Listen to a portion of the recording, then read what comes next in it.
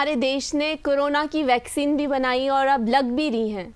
आपको भी लग चुकी हैं तो काफ़ी डर है लोगों में कि साइड इफ़ेक्ट्स के लिए लोग काफ़ी परेशान हैं कि साइड इफ़ेक्ट्स बहुत देखने को मिल रहे मिल सकते हैं।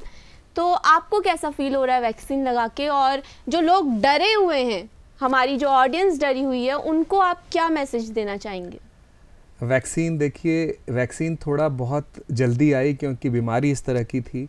कि पूरे विश्व में फैल गई ग्लोबल हुई और बहुत तेज़ी से फैली।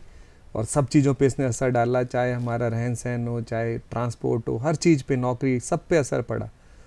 वैक्सीन थोड़ा जल्दी आई तो डर तो रहेगा सब लोगों में कि इसका क्या रिज़ल्ट रहेगा क्या नहीं रहेगा। इवन मेडिकल लोग भी घबराए। शुरू में।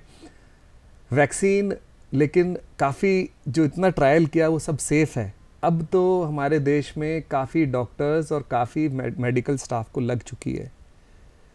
और मैंने भी वैक्सीन ली लग गई। और वैक्सीन लगने के बाद माइल्ड साइड इफ़ेक्ट तो सबको आते हैं जैसे कि हल्का सा गले में खराश होना या थोड़ा सा बदन दर्द होना एक दिन के लिए। अब कभी कभी बुखार भी आ सकता है लेकिन वैक्सीन से कोई ऐसा नुकसान नहीं है। माइल्ड साइड इफ़ेक्ट तो सर नॉर्मल जैसे बच्चों को इंजेक्शन भी लगते हैं उनके भी बिल्कुल उसके भी हैं। लेकिन इसके साइड इफ़ेक्ट बहुत ज़्यादा डिस्कस हो रहे हैं। इस वजह से हम्म, लोगों में डर बैठ गया है।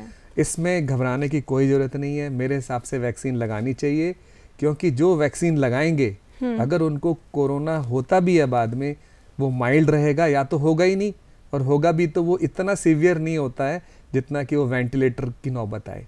जैसे हम टीबी की जिसको वैक्सीन लगती है तो ये माना जाता है उसको कभी भी दिमाग का टीबी नहीं होगा। हम्म। हल्का फुल्का टीबी हो सकता है और वो इलाज से ठीक हो जाता है।